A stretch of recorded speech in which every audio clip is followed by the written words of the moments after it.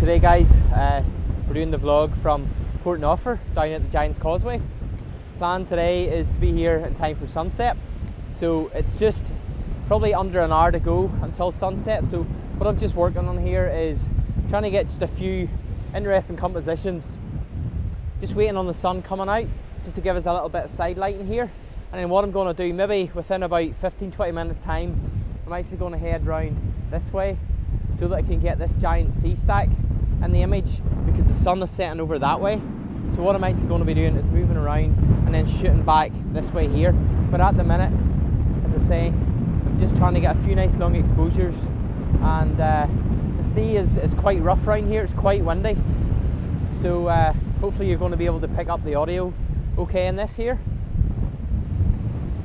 So just to talk very briefly about my settings. Um, again, I'm shooting on the Canon 5DS with the 16 to 35 mm, the f4 lens.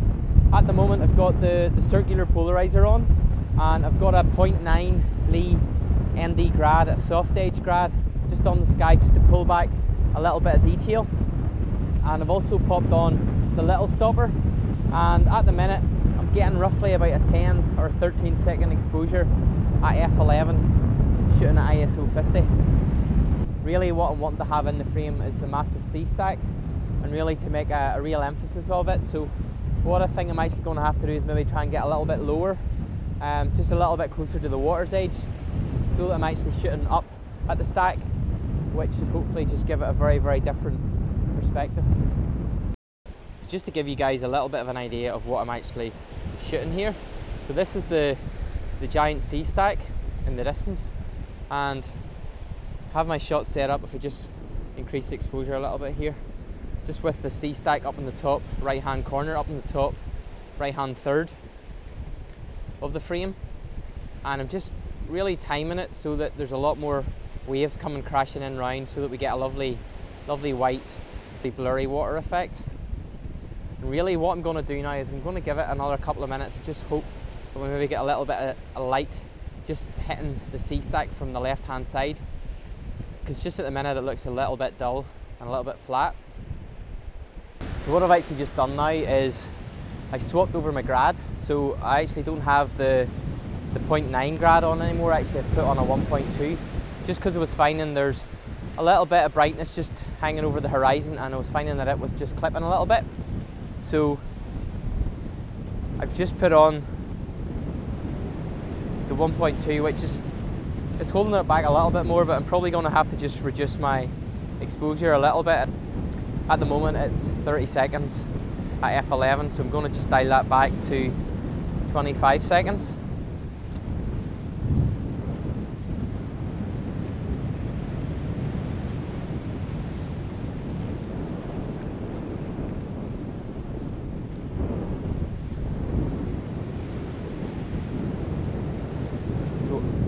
it would appear that the sun has actually gone in behind quite a thick blanket of clouds so we're actually getting some really nice light.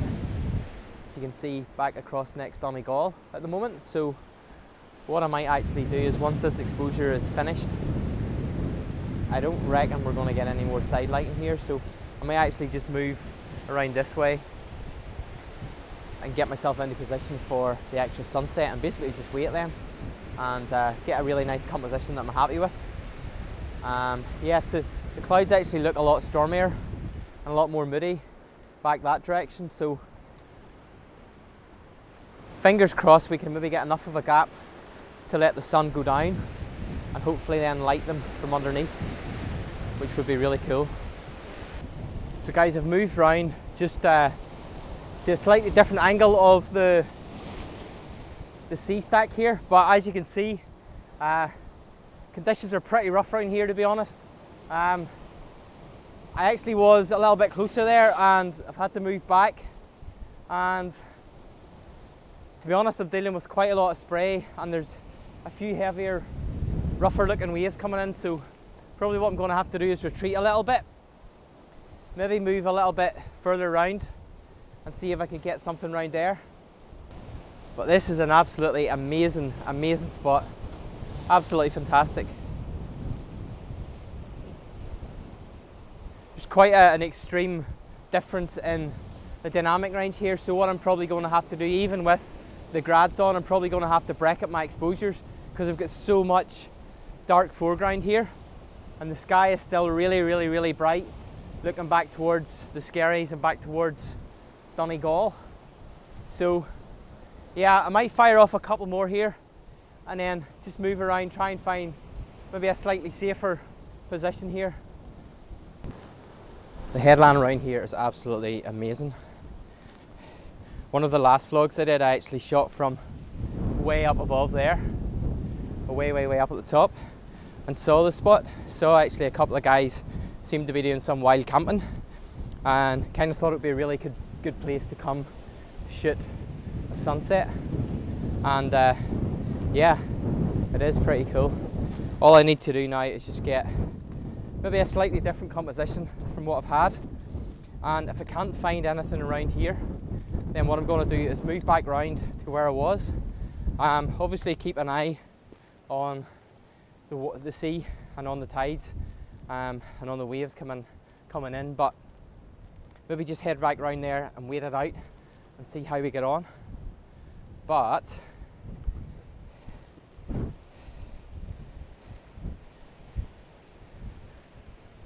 you know, this doesn't look too shabby right here either. I think I'm gonna have to grab a really quick shot of this.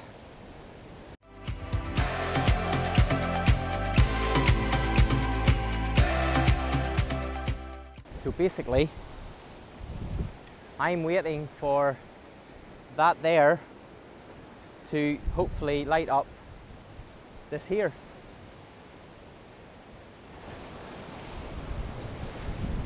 It's just starting to dip below the clouds here. The clouds over on this side are already kind of taking on a lovely golden colour. I just need a little bit more light on that this headland.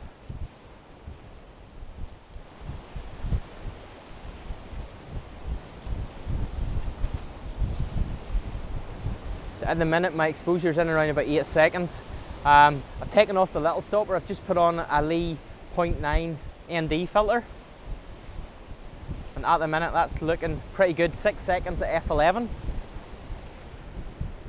Just can't believe that this is what's going on behind me and it still hasn't come through. So I'm just keeping, keeping fingers crossed here because what I'm gonna do is if this lights up, that's the shot done, happy days. Then I'm gonna swing around and probably head down this way here and try and get something with this really cool headland in it as well because this was re really the reason that I came.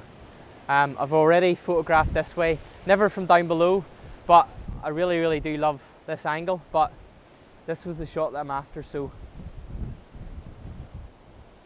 still about 17 minutes to go until sunset, so we've still got a little bit of time. Guess this is just where patience is key.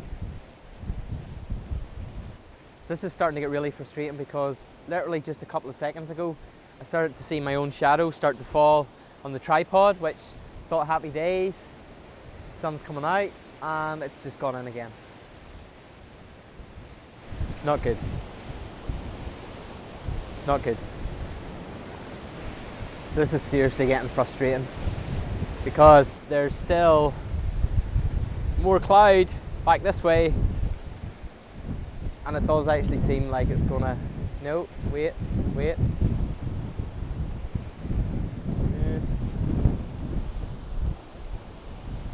Even if I could just get it to light up a little bit of, of the kind of the coppery orangey reddy colours I'd be pretty pleased with that. Is it coming? Is it coming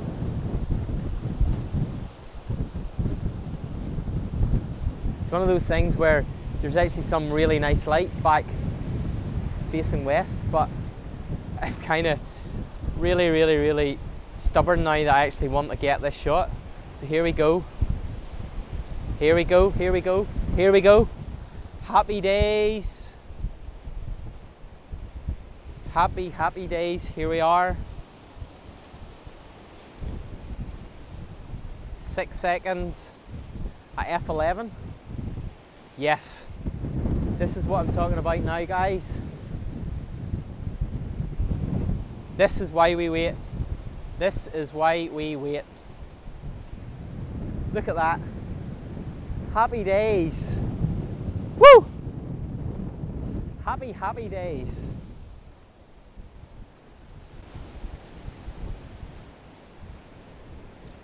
I'm just firing off exposures here. I've already manually focused the lens so I don't have to worry about anything like that. I'm not even going to change my composition here because this is just so good.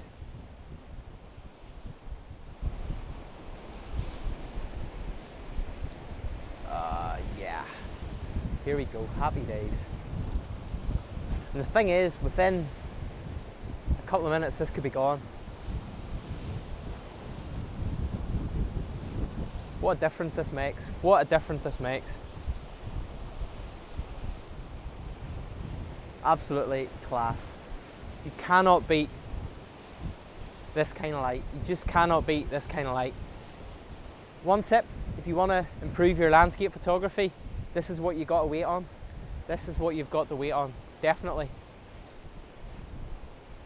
Most people, they make the mistake, and I do it quite a bit as well, is you get to a location, you're just frustrated, you get fed up waiting. But then when something like this happens, it pays off. You just got to be a little bit patient.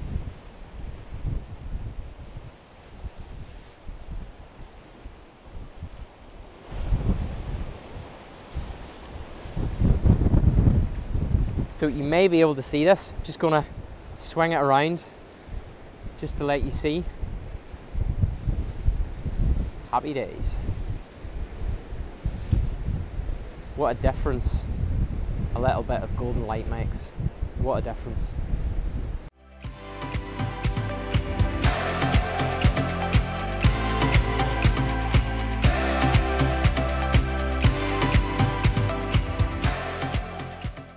So guys, I've moved back around here. Um, to be honest, I'm not overly fussed on the shot here. And this was actually the shot that I came for. Um, what I'm really getting, I'm just getting too much black in the foreground and it's just not safe to go any closer because the waves have actually been coming up in quite close to the pool here so I'm not even going to risk it. Uh, this is just one of those times where you kind of have to be sensible because I think just some people out there are just complete idiots when it comes to this kind of thing and they'll do just do anything to get the shot when really they probably shouldn't. So anyway, rant over. Uh, what I might do is just maybe move around this way a little bit and try and shoot back towards the stack, roughly from the same area as where I started. Because there's a few clouds over this way which might light up quite an interesting colour, so I might just head back around this way now.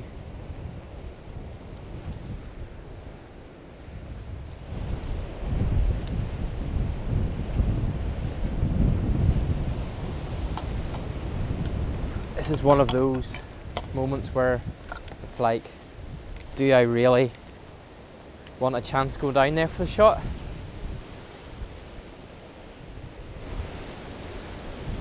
No, it's not worth it. No, definitely not. Okay, I'm happy enough, decision made.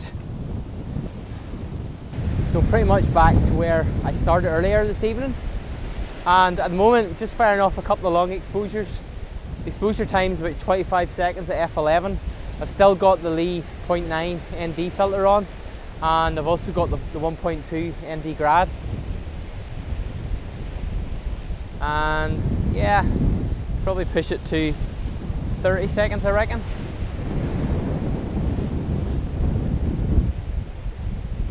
There's not an awful lot happening in the sky at the moment so I'm only including a tiny, tiny, tiny little bit at the top of the frame, but gonna wait maybe another five minutes just to see if anything does happen to it. Yeah, looks pretty good, although there's not an awful lot of colour. Uh, probably would look really nice a, as a black and white, but this is the kind of shot now that we're getting.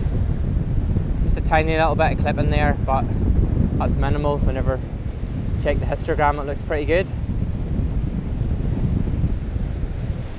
So yeah, that was my latest vlog from Portnoffer at the Giants Causeway. Thanks again to everybody who has been uh, subscribing and who's been leaving comments on, on YouTube. If you haven't subscribed already, please do. And uh, whoa, if anybody does have any questions about the images or about camera settings or any of that kind of stuff, please do leave them in the comment and I'll try and get back to you as soon as I can. Cheers.